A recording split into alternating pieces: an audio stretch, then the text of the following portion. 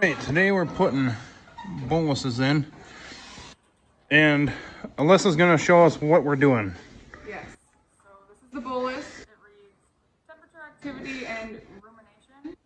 Uh, what we're doing is we're assigning them to all the cows out there. So after it's activated, you can choose from your list of animals, whichever one you want. Assign it, give it the bolus. Gotcha. And this is my mom. She's the boss. She keeps us all in line. Then Dad's been on here before. Last Are you time, guys having fun? A lot of yeah, last Yeah. time I had. Yeah, very excited. Last time. N- Yeah, yeah, yeah. He tells lies most of the time. Here's the cows all waiting for them. We'll get a video of how one goes in. Use a nice little gun like this.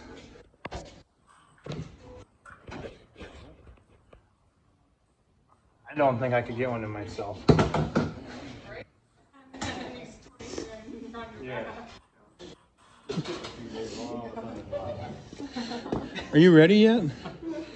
You gotta take a video of me administering one because I don't want to see the. I don't want the world to see you get your ass kicked by a cow. Well, we'll let you start and then I'll, and I'll show you how it's done again. Okay. 1827, don't let her whoop you. Yeah.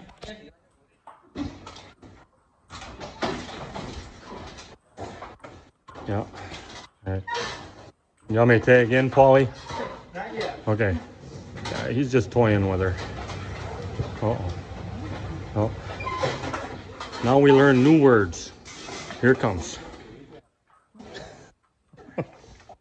yeah, there you go. We'll just cut first half. oh shit, I can't say that because now they're going to like.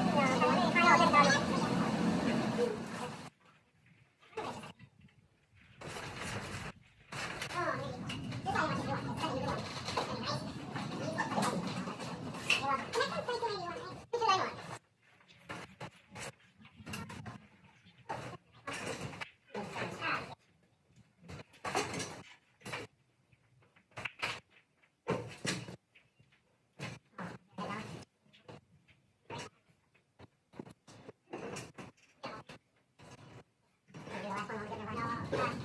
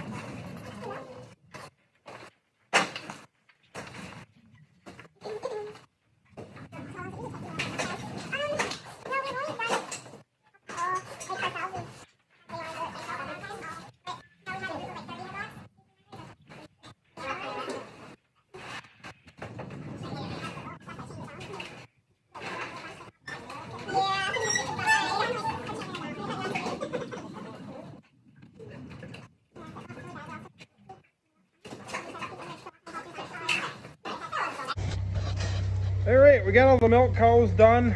So not working in the parlor anymore. We actually got headlocks to work with here. Getting the dry cows all their boluses. Just waiting for them to lock up. That's the close-up pen. And then we got these. And then we gotta do all of our heifers yet too. Just breeding age and pregnant heifers. The younger heifers, they won't get it until they are needing one when they reach breeding age. All right, so we're in the barn, in the freestall barn, where most of the milk cows are housed. They're just coming back from getting milk now. So that their box is the receiver for um, all the data that those boluses are collecting. I just had to wire in a uh, outlet there. I gotta get some wire staples and get that wire hung back up so that it's not uh, just dangling there for birds to, you know, run into or, you know. I'm not an electrician, but uh, I, I, I do decent at it, so I just go ahead with that. They were gonna run inspection. Yeah, sorry. They were gonna going to run extension cords to an outlet that we have on the other side of that big overhead door, but I didn't want that many connections to have to worry about, you know, as time goes on and they corrode. So I figured we might as well just wire a plug-in in. So we just finished up doing that. And uh, I don't know if you noticed, it's got lights on both the plug-in and the box itself. So that's a, that's kind of nice to actually know that you got power at your outlet and if uh, you got power at the box. Because uh, well I guess that can help with troubleshooting if the box goes goes haywire and um, we still got power coming from the plug-in I guess we'll know pretty quick. So that's a pretty nice feature. I'm really excited to get this system up and running. They said it'll take about a week week and a half before we start seeing um, a lot of data collected because it's got to kind of formulate a baseline for that specific cow and uh, see what her normal temperatures are, her normal rumen activity, and then it'll uh, kind of go off of that and it'll let us know when a cow isn't feeling the best. It'll let us know when she's about to calve. Uh, they said 15 hours before calving is about what it'll do. So that'll be a nice feature. And then rumination and uh, activity. Activity meaning are they in heat or not? Um, we try to breed, breed our cows with as few hormones as possible just because they're expensive. Nothing wrong with them. They're just expensive. So this system's also, you know, a chunk of change, but um, if we can eliminate most hormone costs and, uh, you know, have a health score or, you know, be able to see the health of the cow, you know, should, uh, should really help us improve. Um, so one other thing I got to do yet is I got to go down to our main electrical panel and check out whether or not the um, stray voltage indicator light is on. We went through stray voltage a few years ago. Uh, we determined that we kind of always had it because our farm was wired on a three wire system and it's supposed to be a four wire system. So grounds and neutrals were tied together and you're not supposed to do that. So we are getting current back feeding on the neutral and that was giving the cows a couple volts in the waterers and uh, anything metal. And uh, you might look at this beast and say, well, if you can't feel it, how can she? Cows are more sensitive to electricity than humans are. Um, so it affects them before we would ever be affected.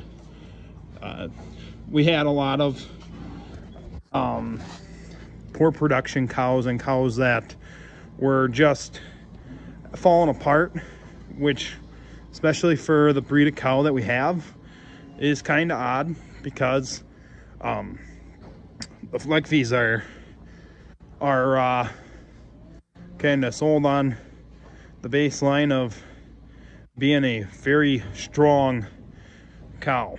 Um, they're built for grazing the mountains of Germany and Austria.